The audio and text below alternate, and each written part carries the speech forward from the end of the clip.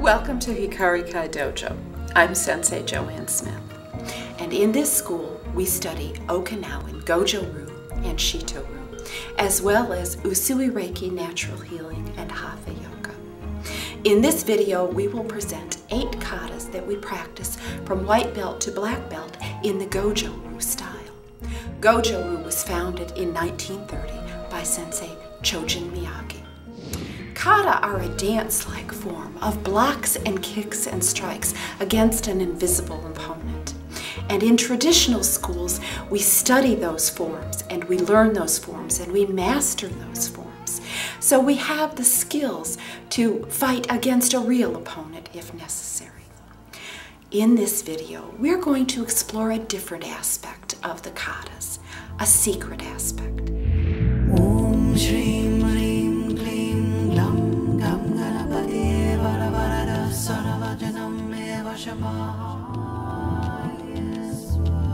What people don't think about or see when they perform a kata is that it has a profound physical and emotional impact on the person performing it. The reason that it has this impact is that it expands what's known as chakras, subtle energy centers that each person has. There are seven main chakras on the body, and each one has a psychological function as well as a physical location. We begin with the top of the head, the location of the crown chakra. This is our spiritual center. On the forehead is the third eye chakra, our intuition center, how we perceive the world around us. At the throat is the throat chakra, our communication center. At the heart center in the upper chest is the heart chakra. This is our feeling center of how we connect to others. Below that is the solar plexus chakra, our feeling center of how we feel about ourselves, our self-worth and self-esteem. Two inches below the belt is the sacral chakra, or hara as we know it in karate. This is our life energy center and is protected by the belt knot that we wear. Below that and between our legs is our base chakra our foundation center. In our curriculum, we study eight Goju Kata, from white belt to black belt. They are Gekisai Daiichi and its sister kata, Gekisai Daini, Saifa, Seiyunchin, Shisochin, Sanchin, Sanseiru, and Tensho. We will be presenting those katas to you as well as exploring what happens, what happens energy-wise in the performance of these katas. Now, Gekisai Daiichi was, was created by Chojun Miyagi, and its name means strength and power It was very exciting to see that the solar plexus chakra becomes enlarged in the performance of this kata. Now, the solar plexus is related to our feeling, how we feel about ourselves, our feeling of self esteem, our feeling of strength and empowerment. So, this kata actually makes that change in our energy body, creating a good feeling. This is still my favorite kata of all the other ones that I've studied because of this good feeling.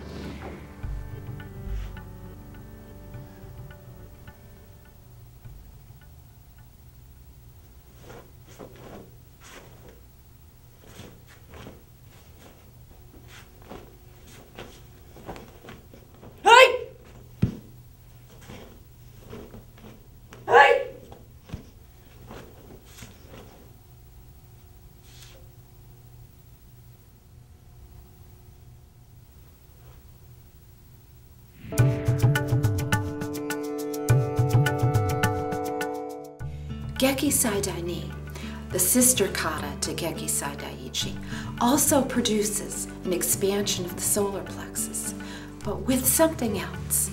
At the end, we have what's called a circle block, and with the performance of this block, energy is now released into the field around us, called our aura, which extends three feet in all directions from our physical body. We often do this kata in the dojo and then we blindfold ourselves and see if we can feel someone coming in, entering into our energy field. So this kata now takes that internal energy that's created in the solar plexus and flows it out into the field so that we can heighten our awareness for good self-defense.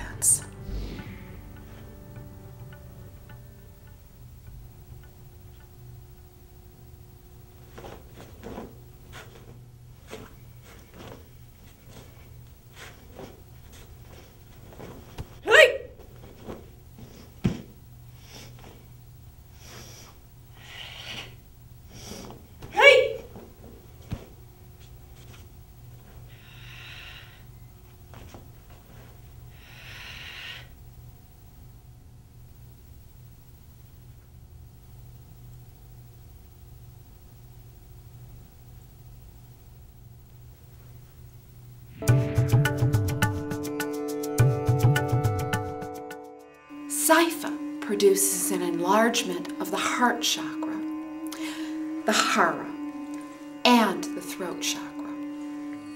If we put these aspects together, we can say that Saifa gives us courage to express our creative truth. It's very important on the road to self mastery to be able to stand up for oneself and speak one's truth.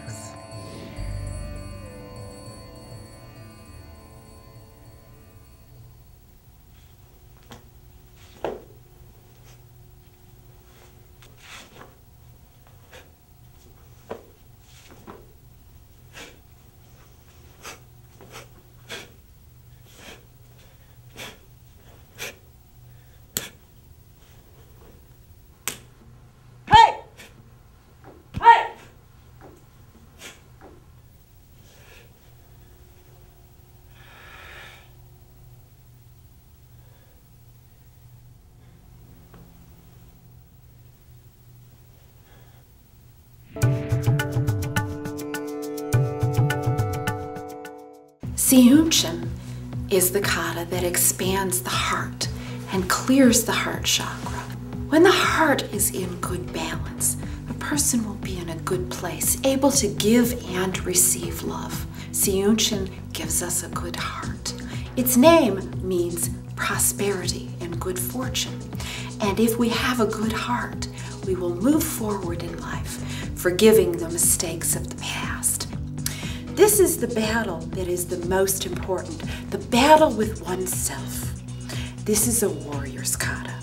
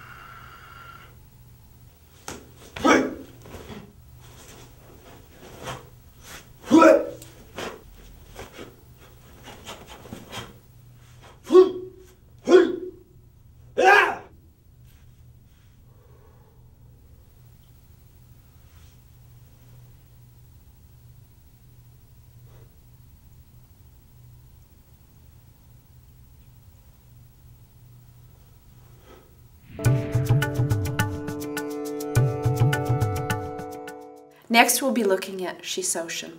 Shisochin expands the third eye chakra, and it also expands the solar plexus to the greatest degree. But other chakras of the heart and the throat are also expanded as well. Now, from the third eye expansion, we gain greater insights. Through our solar plexus, we have that centeredness in ourselves, in our own being. In this kata, there's a repetitive action, a heaven and earth balancing that happens in the blocks. We also have in the strikes, we have heaven and earth aspects. This action helps us to remain centered between those aspects of heaven and earth, our highest aspirations, and how we stay grounded and centered in life. This kata is about balance. It keeps balance in our lives.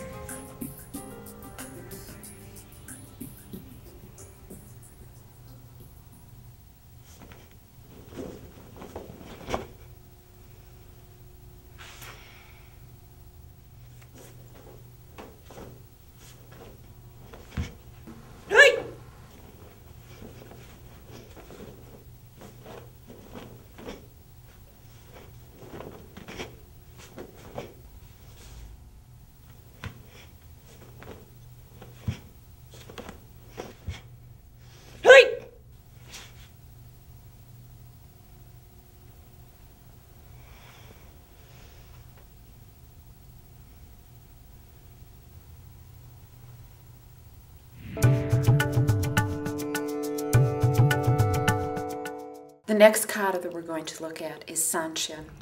This was created by the founder, Chojun Miyagi, and he considered it the most important kata in the style. It focuses on hard breath work that creates so much energy in the body that in olden days, boards were broken on the arms and legs of those performing the kata while they performed it. Please don't do that. Nowadays, though, we have insurance and liability issues to consider. Now, in the performance of this kata, what we do is we have two energy locks. One is at the base chakra or the perineum point, and you can close this chakra. You lock it by squeezing your buttocks muscles really tight and holding that throughout the performance of the kata. The Sanchin stance helps you obtain that lock and maintain it throughout the kata. The other lock is maintained by placing the tongue on the roof of the mouth. Both of these locks successfully closes off the crown chakra and the base chakra so that when breath is then taken in, drawn in through the nose and out through the mouth, it circulates in the body, creating what is known as a microcosmic orbit. This orbit then just increases, increases increases the energy production in the body and also the size of the chakras. Sanchin creates a master-sized energy field in all of the chakras. And what this does is it prepares the way for our internal energy source, what's called our Kundalini energy. This is an energy that lies coiled at the base of the spine. When this energy is ignited, it will rise up the light channel connecting all the chakras flow out of the body, then down and back the secondary channels. This gives us a flood of internal energy. After the Kundalini has risen, performing this kata will do something entirely different. What it does is it closes down all of the body chakras except for the third eye and expands this. This can make someone a little bit lightheaded. It can also bring them into an altered state that allows you visionary experience one word of warning about Sanchin that uh, pregnant women and people with high blood pressure should not do it with uh, by holding the locks because there's too much pressure that's created.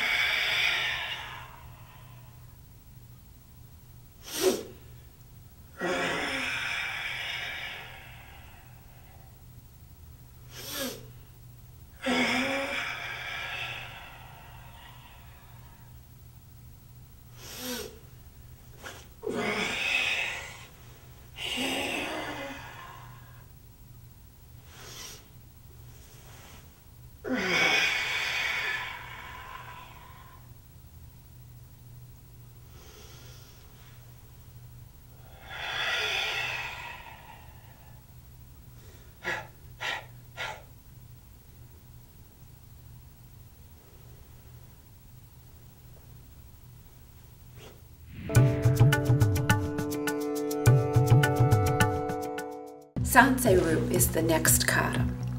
And this kata does something strange. It anti-rotates the hara or sacral chakra. This kata may make someone feel a little bit queasy or sick to their stomach because of this anti-rotation. When this occurs, it can ignite that kundalini energy that we talked about with Sanchin and sending it up through the body and back down the secondary channels, empowering greatly the hands. Now, this can be useful in two ways. Now, as a Reiki healer, this is important to use if we're doing a hands on healing. We want to have our hand chakras activated to be able to do that. But also, as a martial artist, I know that it's important if I'm throwing energy at somebody in a strike, especially an open handed strike. So, Sansei Sanseru gives you empowerment in those hand chakras that you can use for healing or defending yourself.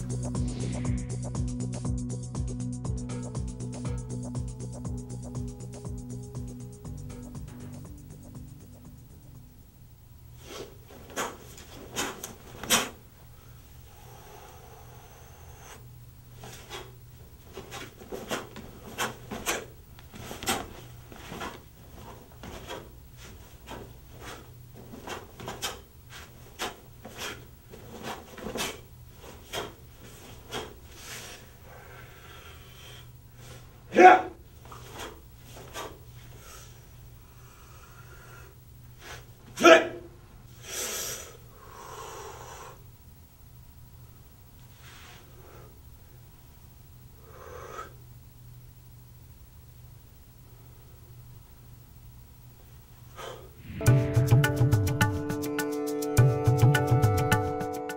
Tensho in our school is the last kata practiced for black belt studies.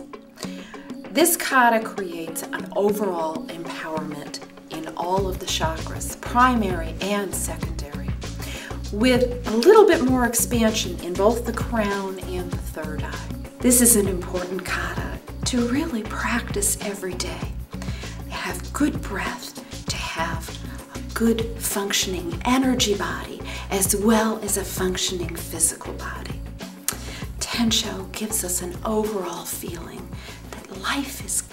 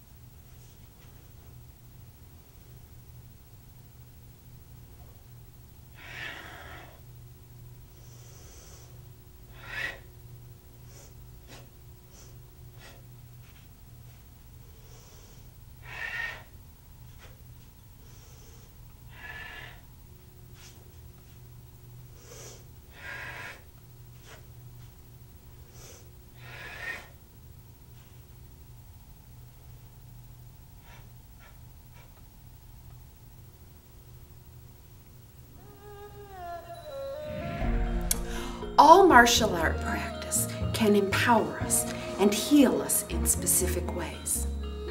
What we've looked at here are the Goju-ryu katas and how they may impact how we feel, as well as the skills that we gain from them. If you're feeling bad about yourself and you're depressed, do Gekisai Daichi. If you need to ask your boss for a raise and you need to get that courage together, do Saifa. Seiyunchin can help you have a balanced heart, and this may be helpful in your relationship. If you have a fight with your loved one, go off, do Seiyunchin, and come back. You might feel differently. When you need to stay balanced in your life, do Shisochin to find that balance between your heaven and your earth.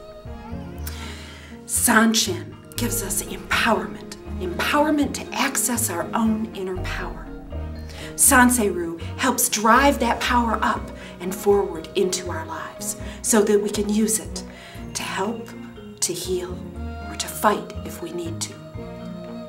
Tensho gives us an overall good feeling everywhere so that we can say, life is good. These are the healing secrets. These are the things that kata give you that nothing else does. And each kata gives you something new, something different, a prescription for a healthy life, a healing secret.